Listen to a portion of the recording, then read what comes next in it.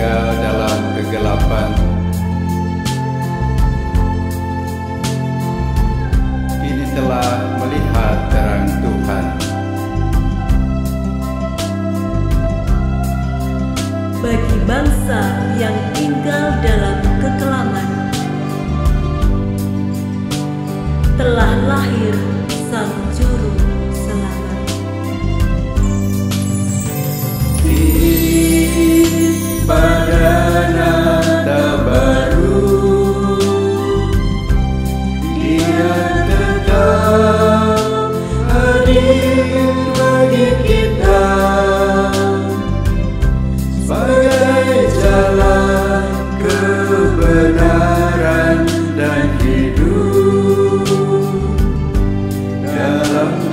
Yeah.